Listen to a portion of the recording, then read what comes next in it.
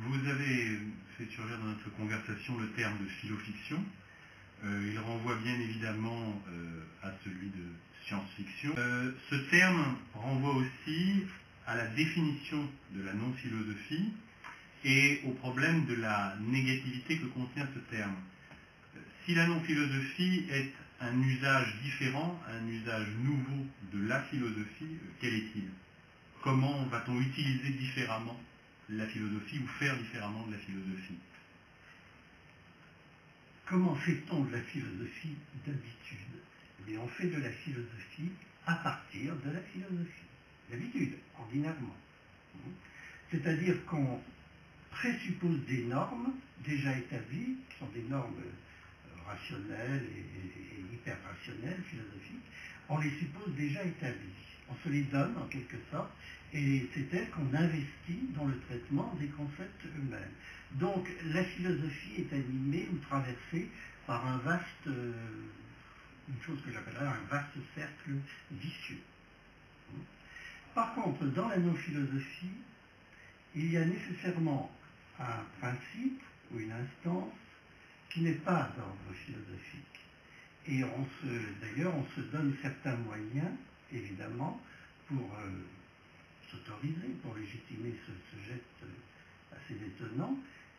On se donne certains moyens pour ne pas obéir à la philosophie tout en la pratiquant. C'est-à-dire euh, pratiquer des concepts, mais sans la norme, sans l'autorité du concept. Alors, comment est-ce possible, évidemment? Bon, alors là, c'est très important, le nom.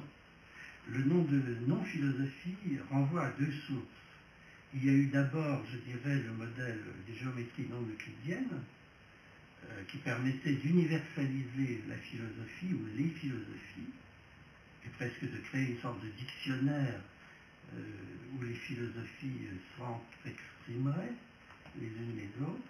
Et puis il y a une seconde source qui revient à légitimer la possibilité d'appliquer ce modèle non euclidien au concept, à la philosophie, c'est que ce que j'appelle l'homme, et qu'il y a d'autres noms dans la non-philosophie, hein, que ce soit l'un en un, l'homme en personne, le réel, le réel, ce réel, il est, enfin, sa causalité se marque d'une certaine manière par euh, une impossibilité ou par une altérité radicale, mais une altérité radicale qui est en même temps une identité.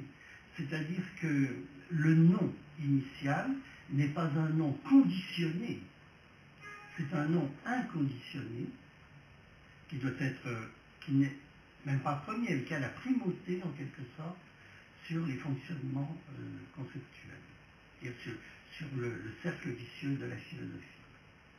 Alors, bon, la justification de, cette entreprise euh, demanderait de très longues explications, qui sont peut-être un peu superflues ici.